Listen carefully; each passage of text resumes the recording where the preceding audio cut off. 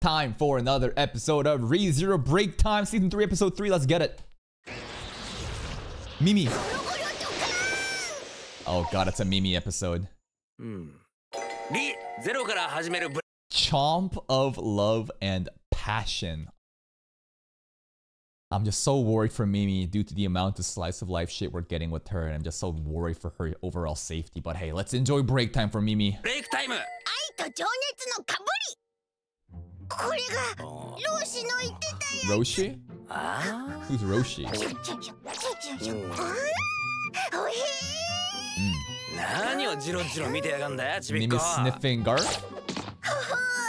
るほどやりますな耳大変気に入りました OK 名前 Is this basically more extended version of how Mimi and Garfiel kind of meet in like the episode one and how Mimi basically just jumps on Garfiel? Mimi wa Mimi, 超最強の副団長。この俺様の前で最強な I don't think she's got balls, but yes, she definitely has balls.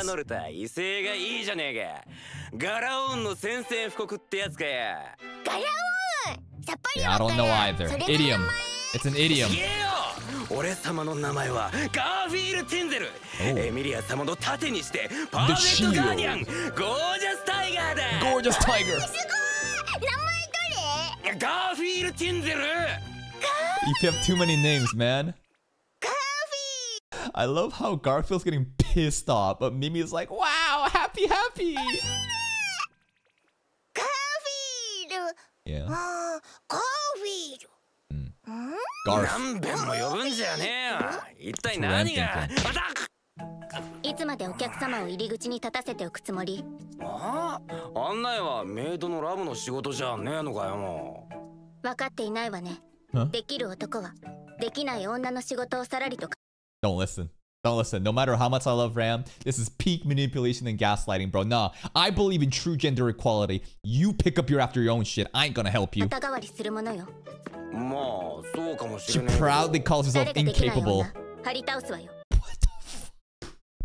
you refer to yourself as an incapable woman. Help an incapable woman out. And then I'm like, oh, I don't know about that. You're like, you think I'm incapable? This is some crazy gaslighting but This you will never fucking. I would hate to be in a marriage with Ram. I love Ram. I think she's funny as fuck. But imagine having to deal with her every fucking day, husband, wife, bro. The amount of gaslight would be crazy.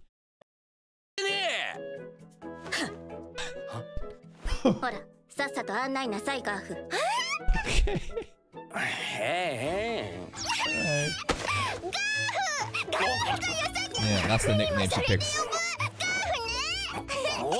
その呼び方は家族しかああ調子が出ねえ何なんだよこいつ Hmm, is she okay? If only family can call Garfield Garf, I guess he accepts that Ram is his family. お客様でしょ抱き心地が良さそうなじゃなくて No, Mimi! とにかくこっちだお客人 God, Mimi is so adorable.